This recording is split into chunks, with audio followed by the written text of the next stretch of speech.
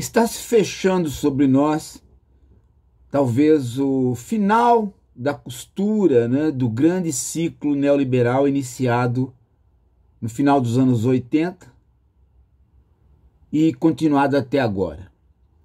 Nós começamos no final dos anos 80, principalmente com Collor, depois acentuadamente com Fernando Henrique, mas mantido com Lula e Dilma, um grande processo neoliberal de abertura da nossa economia para uma integração com a globalização neoliberal que não perdeu o fôlego ainda.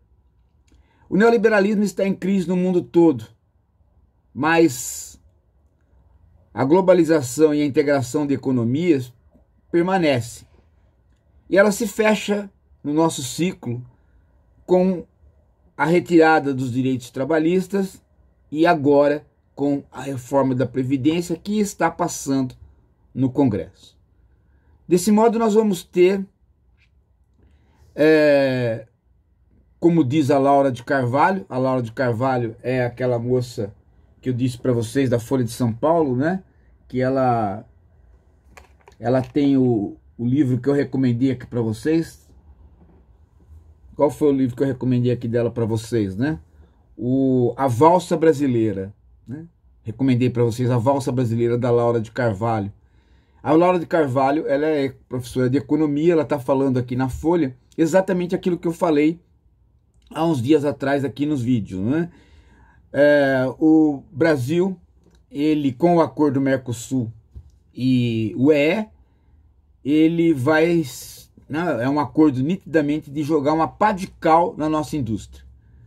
Nós vamos ter um pequeno favorecimento na agricultura, um, um, um favorecimento da agricultura que na verdade prejudica o meio ambiente europeu e nosso, e nós vamos ter uma pá de cal em cima da nossa indústria, porque de fato é uma abertura inusitada para a quinquilharia europeia, que vai, de certo modo, exterminar aquilo que restou da nossa desindustrialização. A nossa desindustrialização vem exatamente por esse pacto neoliberal que começa nos anos 90 e que nunca parou, nunca foi estancado e que vai então, portanto, confirmar e conformar uma geopolítica e um quadro do império, né, digamos assim. Né? Porque um quadro do império nós estamos vivendo sob né, o um império do dólar e da economia globalizada, e nós vamos ocupar nesse espaço é, um lugar determinado que a gente sonhou um dia que não seria esse, mas vai ser. Nós vamos ser exportadores de commodities, matéria-prima, principalmente de produtos da natureza, né, tipo carne e, e produtos agrícolas cheios de agrotóxicos. Portanto, o mesmo lugar de sempre, desde o tempo do Brasil colônia. Não conseguimos dar esse passo. Nos anos 50, nós imaginávamos que trazendo montadoras de carro para cá, depois viriam as matrizes.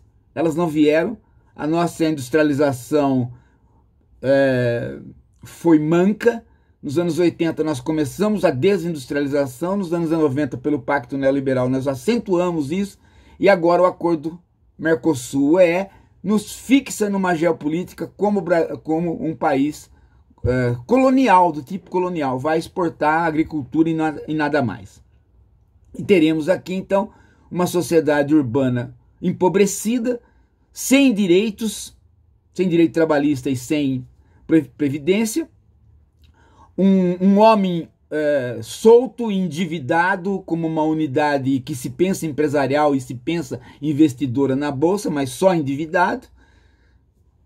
Uma distância social entre ricos e pobres maior, uma sociedade menos culta, porque não tendo indústria, a escolarização também fica diminuída, fica requisitada de modo menor, e ao fim e ao cabo, é, uma posição na geopolítica de infelicidade, neoliberalismo e Brasil colônia. Plantation, né? chamava de plantation, esse sistema de monocultura exportador para a metrópole. Pois bem, gente, dentro deste quadro, as coisas vão ficar difíceis, porque esse quadro foi montado em regimes não autoritários. Todos eles são regimes democráticos, mesmo o do Bolsonaro.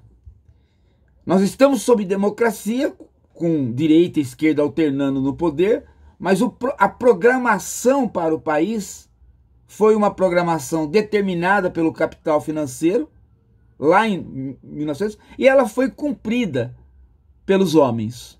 Os homens não foram capazes nem de revertê-la e também não foram capazes de encaminhá-la. Ela ocorreu a despeito de todo mundo.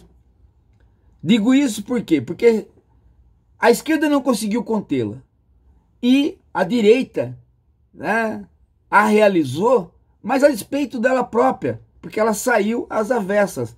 Está saindo aí um monstrengo, está saindo aí um, um resultado que não privilegia de modo algum o conjunto da, da nossa burguesia.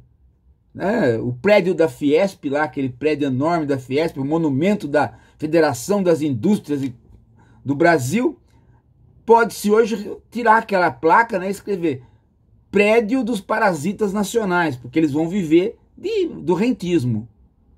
E o rentismo está sujeito às bolhas que nós sabemos que ocorrem, as bolhas financeiras, e o Brasil se integrando ele vai passar a sofrer é, essas, esses, esses abalos sísmicos do capitalismo cada vez com mais força. Não fomos capazes de realizar nenhum projeto.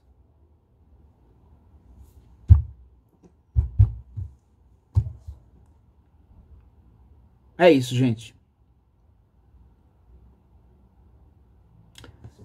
É isso. Daqui a pouco eu volto.